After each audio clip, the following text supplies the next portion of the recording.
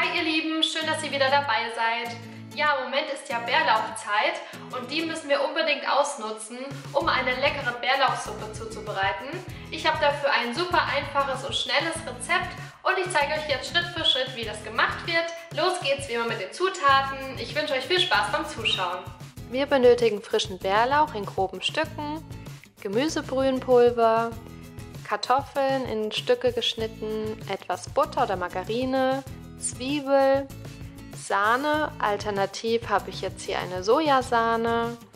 Dann benötigen wir Pfeffer, Salz und Muskatnuss. Wir beginnen mit der Zwiebel, die wir jetzt zerkleinern werden, für 3 Sekunden auf der Stufe 5.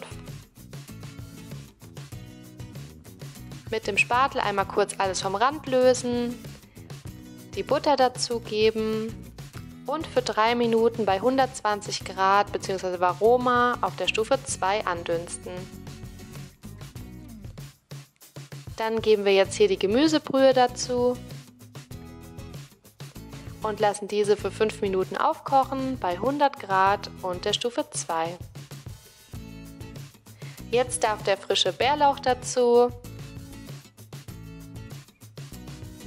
und auch die Kartoffeln das kochen wir jetzt weiterhin für 20 Minuten bei 100 Grad unter Stufe 1. Dann darf jetzt die Sahne dazu und auch die Gewürze. Dann müssen wir nur noch das Ganze pürieren für 20 Sekunden auf der Stufe 6 bis 8. Ich schalte da immer nach und nach etwas weiter nach oben. Und dann ist die Suppe auch schon fertig. Sie kann jetzt serviert werden.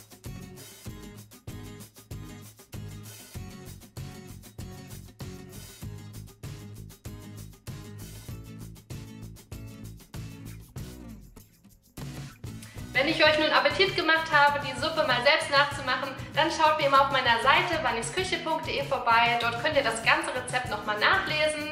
Und wenn euch mein Rezept und Video gefallen nicht auf den Daumen nach oben zu klicken. Schreibt mir gerne einen Kommentar, wie die Suppe euch geschmeckt hat.